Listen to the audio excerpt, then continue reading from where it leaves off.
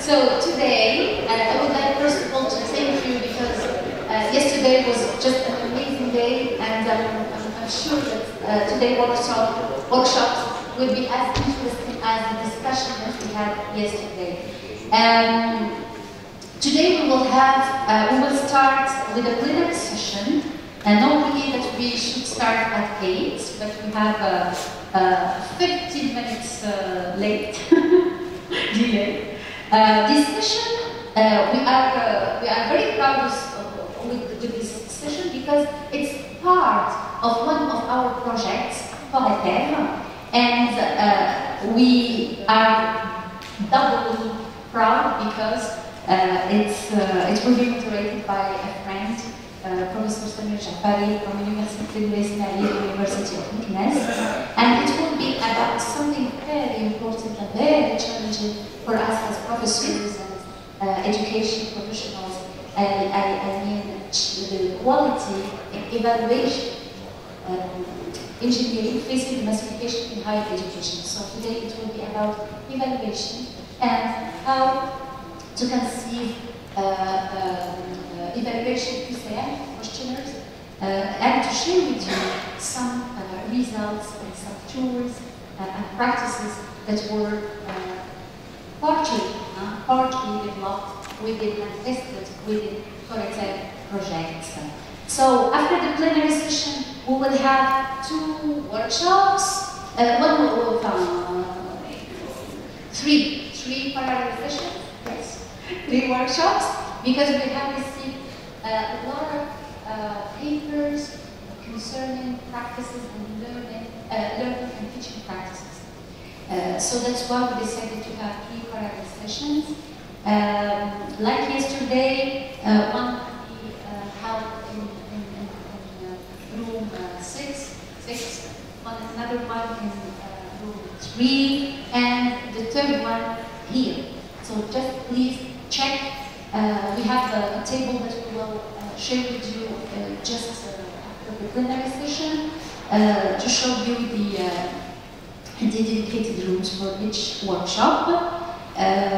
Voila, and then right away after the coffee break, break and the networking session, we will have the two-hour parallel sessions, digitalization and technology use in education and entrepreneurship and employability, and we will close the, uh, our two days, our Erasmus Scientific Days, with uh, the closing session uh, that will be moderated by uh, Professor Benaid, Dr. Benaid Bougadier, Professor Durada, and um, a representative from one of our partners, Mohammed VI Polytechnic University of Morocco, and uh, we will close uh, with um, Professor Burgos um, uh, not presentation but more talk, uh, Arabic leading, digital transformation, uh, and then the uh, program of the Erasmus Scientific Days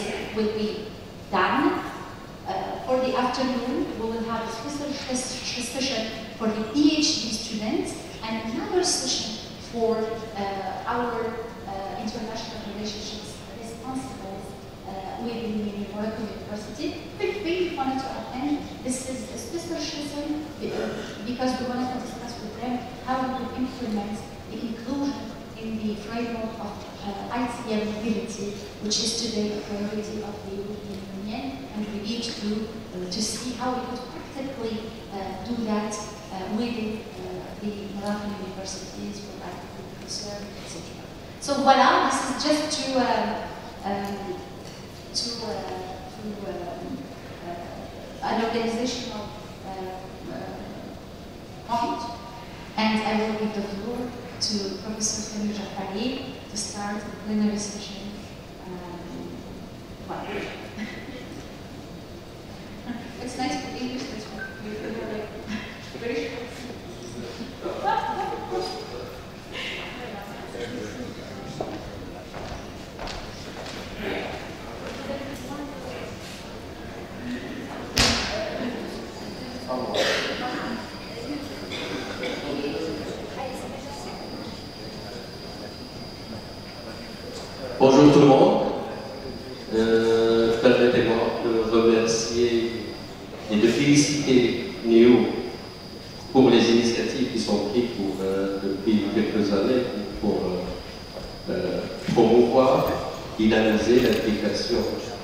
des universités marocaines dans les projets et les programmes européens, et particulièrement le programme Erasmus. Euh, ils ont pris à leur euh, compte euh, depuis maintenant deux années de s'intéresser à des thématiques qui sont importantes concernant l'impact attendu de ces programmes sur les universités marocaines à travers d'ailleurs le travail l'étude qu'ils ont mené sur l'évaluation de l'impact du programme Erasmus+, à travers ces journées aussi, qui s'intéressent au fait de comment faire de la recherche aussi une composante de, de, projet de renforcement des capacités, Erasmus+, et puis euh, à travers la session d'aujourd'hui, comment, quelle est la place de l'évaluation et la qualité de cette évaluation dans, euh, pour, résoudre d'abord un problème que rencontrent les universités publiques marocaines, celui de la massification. Et on se retrouve avec des, effectifs qui sont très très importants et, évaluer des, promotions de 3 000 étudiants, euh, on fait appel forcément à un système d'évaluation plus serré, etc. Et la qualité de ces, de ces évaluations se pose bien sûr. Et euh, je parle bien sûr là. on n'a pas besoin de faire la distinction, mais je le fais quand même. On parle de la qualité d'évaluation non d'évaluation de la qualité. J'en profite aussi pour dire que nous attendons quand même depuis l'engagement de certaines universités dans ce chantier-là de la qualité de l'évaluation, d'avoir un sort meilleur que celui que les universités marocaines ont connu pendant une dizaine d'années lorsque, lorsque, l'évaluation de la qualité, l'assurance qualité était la bonne, et on a vu beaucoup de projets Campus et Erasmus qui ont été euh, mis en œuvre sur ces thématiques-là, mais, je l'ai toujours dit, je ne le cache pas, on est resté sur notre fin quant à l'impact que ces programmes ont eu au niveau de nos universités. Il n'y a qu'à faire le tour des universités publiques marocaines. Euh, quelles sont les universités qui ont un vrai système d'assurance qualité au Maroc, euh, qui respectent les audits, les normes, les certifications, etc. Vous allez faire le tour des, universités publiques, vous allez peut-être trouver une ou deux, je ne sais pas. Euh, mais on ne veut pas avoir ce sort-là qu'on a vécu avec les programmes campus et Erasmus euh, concernant la qualité de l'évaluation.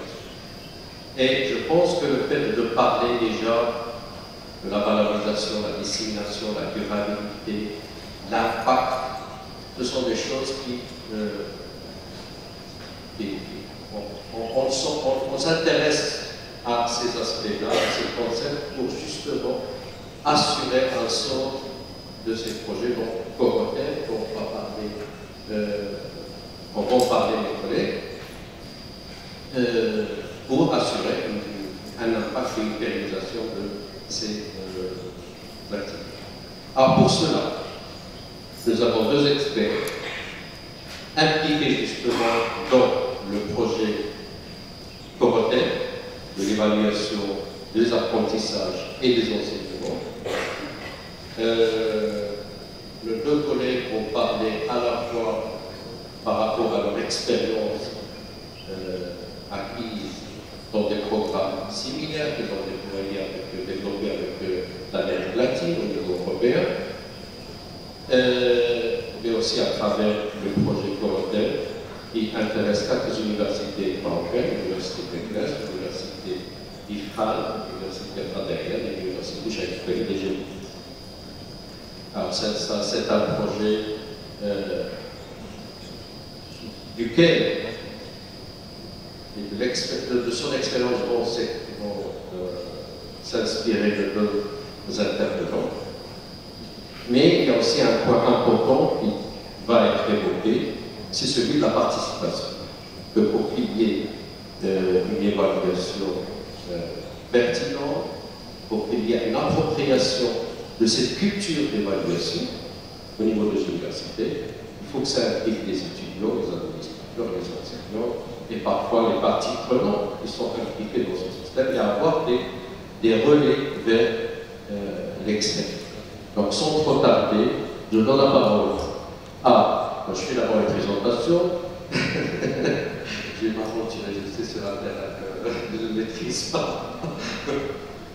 Euh, Jean-Luc Gilles, qui est professeur à la Haute École d'études pédagogiques de Lausanne, et Émile Alice, qui est euh, professeur à euh, l'université Simon Patou de Pôle. Voilà, tous les deux sont très actifs et impliqués dans le projet Cocktail. Et donc la parole est d'abord à Jean-Luc Gilles. Merci beaucoup Samir pour votre introduction. Vais me rapprocher. Alors, la, la, présentation va porter sur euh, les enjeux d'une approche qualité en ingénierie des évaluations. Et euh, comme Samir l'a dit, c'est en lien direct avec le projet Coretet. Et j'attire votre attention aussi sur la page 65 de votre book abstract. Vous allez voir qu'il y a l'abstract de la présentation qui sera faite euh, tout de suite après dans un des ateliers parallèles, dans le workshop, le workshop 7 par l'équipe des CEDAP, menée par euh, Najib euh, pour cette présentation, et euh, qui va être alors une illustration d'une série de choses que je vais raconter dans le cadre de cette présentation-ci. Donc c'est intéressant de faire le lien entre les deux et je me de le faire maintenant.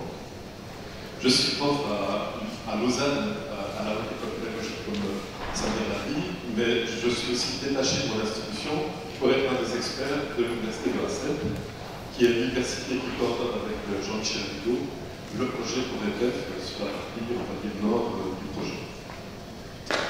Bien, alors, euh, euh, il y aura six parties dans ma présentation, mais après ça, revenir sur cette pacification de l'enseignement supérieur. Deux, trois graphiques intéressants pour montrer ce sujet-là et vous expliquer pourquoi, finalement, Emilio et moi, on est peut-être des experts des ressources intéressantes dans le cadre du projet que je, aussi de, donnerai un exemple d'impact de, cette massification des étudiants sur les pratiques d'évaluation des enseignants dans l'enseignement supérieur, exemple qui est frappant. Et puis, euh, j'essaierai aussi quelques mots sur, c'est vrai qu'on parle de culture de l'évaluation. Il y a eu, euh, comme Samir l'a dit, c'était très important, et vous avez, ça continue à être une préoccupation importante, et en particulier dans l'enseignement supérieur. Mais on sent bien qu'aujourd'hui, on est en train de, de, basculer d'une culture de l'évaluation une culture de la régulation amélioration continue et de la responsabilisation. Et c'est important d'avoir ça en tête aussi par rapport à tout ce qu'on propose. Et Samir en a dit un mot en parlant de, participation active dans, le projet. Il y a part d'abord d'amélioration continue et de responsabilisation qui est importante euh, par rapport à cette culture de l'évaluation. Et puis alors, il y a un autre euh, élément contextuel qui euh, est important à avoir en tête, c'est euh, l'importance aussi de, des technologies d'information et de la communication dans tout ce qui est en train de se passer au niveau des évaluations dans l'enseignement, aussi. Alors d'abord, vous dire sur le fait qu'on est tous, Samir, Lio, Jean-Michel, Najib, les collègues du CDAP et encore d'autres collègues de par le monde, en Afrique, en Amérique du Sud, aussi en Amérique du Nord, membres, euh, on a une quarantaine environ, euh, membres actifs, membres d'un groupe international de recherche et d'expertise en, ingénierie des évaluations. Euh, là, vous avez la traduction en anglais. Il y a un site web, on a en français, c'est le GIRI. Si vous êtes intéressé, vous pouvez jeter un coup d'œil. Euh, et on, on, essaie de développer cette approche qualité en ingénierie des évaluations et en particulier euh, par rapport à ce problème de, massification de l'enseignement, c'est une de au niveau de l'enseignement supérieur. Mais on s'occupe aussi d'évaluation, d'ingénierie des évaluations, par exemple au monde de la formation continue, tout au long vie, euh, dans le monde de la formation euh, dans les entreprises, dans les organisations, ça fait partie aussi de nos champs d'intérêt. Alors, qu'est-ce qu'on entend par ingénierie des évaluations en formation? Déjà, ça, si on l'appelle peut-être de, dire un mot là-dessus. pour nous, dans le cadre du GPF, c'est l'idée que ça concerne, la conception, la mise en œuvre et l'analyse de la qualité de dispositifs d'évaluation qui peuvent prendre euh, la forme de, simples techniques qu'on va essayer de mettre en place ou euh, de, dispositifs euh, qu'on pourrait utiliser, en utilisant les technologies de l'information et de la jusqu'à des systèmes complets d'action dans le domaine de l'évaluation. Par exemple, les CELAP, les centres d'appui aux évaluations de SAP, ce sont vraiment des systèmes complets. Et ça, ça fait partie qu'on appelle l'ingénierie des évaluations aujourd'hui. Ça regroupe toute une série de champs de disciplines différents. Alors, euh, ce qui nous caractérise, je pense aussi, par rapport à ce GIF et par rapport à la façon dont on envisage l'ingénierie des évaluations d'information, c'est une approche qualité. Et notre approche qualité, on a essayé de la définir assez simplement à l'aide d'un paradigme. Au sens du plus, je viendrai sur la, suivante, euh, avec l'idée qu'il euh, y a quatre facteurs clés qui sont au centre de nos préoccupations. Alors je vais vous demander un petit effort euh, cognitif sur cette diapositive, parce que je vais vous demander d'essayer de mémoriser ces quatre facteurs clés, plus les deux cadres qui vont apparaître, un cadre contextuel et un cadre axiologique en tant que Essayez d'avoir en tête, parce que j'y ferai des références assez régulièrement dans les biais qui vont suivre. Donc vous voyez, au centre de ces facteurs clés, les besoins des acteurs. J'en parlais hier à plusieurs reprises. Euh, s'intéresser aux besoins des acteurs, ça veut dire, par exemple, aussi co-construire avec eux les dispositifs d'évaluation. Euh, tous ces acteurs, les parties prenantes, euh, il y a les enseignants évidemment, mais il y a les étudiants, il y a tout ce qui occupe des enseignants, des étudiants, graphiques comme personnes qui vont essayer d'offrir de l'appui le soutien à leurs apprentissages. Donc il y a toutes sortes d'acteurs clés qui, à un moment donné, ont des besoins. Et il s'agit d'en tenir compte dès le début et donc de les appliquer pour construire. Mais ça ne suffit pas. Dans une approche qualité telle qu'on la conçoit, il nous faut aussi des critères, des bonnes pratiques, validées par la recherche. Et donc si on n'a pas de critères ou d'indicateurs qui nous permettent de dire qu'on est en train de mettre en place un dispositif de qualité, ben, on va naviguer dans le là. Il nous faut donc être au clair par rapport à ces critères. Ça ne Il nous faut aussi, en bas à droite, des modèles théoriques et des modèles qu'on a développés en cycle de qualité, je dirai un mot aussi tout à l'heure, qui nous permettent alors de, vraiment essayer d'imaginer la création d'un dispositif d'évaluation en termes de processus qualité, de cycle de qualité, on peut même parler de spirale qualité, dans la mesure essaie d'améliorer en continu la qualité des dispositifs d'évaluation. Et enfin, last but not least, il y a les ressources humaines et matérielles qui sont vraiment importants aussi. Les CDAP, ça fonctionne parce qu'il y a des équipes qui sont experts dans le domaine de l'évaluation et qui sont aussi équipées de matériel qui leur permettent de, répondre aux challenges qui sont les leurs en termes d'évaluation, par exemple, Je disais, il y a un, cadre contextuel euh, en toile de fond. Euh, la façon dont on va euh, mettre en place un dispositif d'évaluation dans une université en Bolivie, va se rapprocher assez fort de la façon dont on pourrait mettre un dispositif d'évaluation euh, au Maroc, par exemple, il y aura des différences. Et ces différences sont probablement encore plus grandes si on se réfère à Lausanne, en Suisse, dans un contexte différent. Mais il n'y a pas que l'aspect géographique. Si on, se réfère par exemple à ce qui se passe dans une entreprise, la façon de, faire, le contexte différent de ce qui se passe dans le milieu académique. Donc ce cadre contextuel est, est, vraiment très important aussi. Et puis encore une fois que ça, il y a le système des valeurs qui, à un moment donné, va aussi affecter tout ça. Les valeurs dans le monde de l'entreprise ne sont pas les mêmes que les valeurs dans le monde académique. Dans euh, le monde de l'Afrique, euh, comparé au monde de l'Afrique, les valeurs ne sont pas les mêmes. Et donc tout ça va impacter à un moment donné la façon dont on va concevoir un dispositif d'évaluation des fois Donc, deux cas en toile de fond clés avec le centre des besoins. Vais avoir ça en tête. Bon, alors j'ai dit c'est un paradigme, alors juste un petit mot sur euh, un paradigme, qu'est-ce qu'on entend par paradigme C'est un ensemble de techniques, de, procédures, de façons de, faire, de voir euh, les choses qui sont communs à un groupe donné. C'est pas moi qui les définis comme ça, c'est lui, un épistémologue des sciences, qui a à un moment donné euh, défini le paradigme de cette façon-là, et ça nous convient bien, parce que ça nous donne notamment de la cohérence dans notre vision des choses, dans notre façon de faire, au niveau d'un groupe comme le GIE que je vous ai tout à l'heure. Mais aussi par rapport à ces différents CNAP qui sont en train d'être créés à travers le, projet Corétel, ça nous donne un cadre commun, et en ce sens-là, par contre, c'est intéressant. Bien, alors, ceci étant dit, massification. Alors, vous allez voir apparaître euh, des, des, graphiques à l'écran qui vous montrent comment sur la planète la massification a, dans l'enseignement supérieur est apparue au fil des décennies. Et là, j'ai des chiffres remontent aux années 70 et qui sont accessibles sur le site de l'UNESCO. Tout ça, vous avez accès direct si vous voulez aller voir sur le site de l'UNESCO. Vous pouvez voir cette évolution à travers euh, des graphiques aussi que je vous montre. Et euh, dans, ces graphiques, dans ces graphiques qui vont se succéder, euh, c'est intéressant de, de, voir ces deux axes. Il y a un axe vertical qui parcourt l'océan Atlantique, et puis un axe euh, horizontal qui montre bien cette fracture entre le nord et le sud. Mais vous voyez que dans les années 70, euh, la situation était assez équivalente à quelques exceptions près.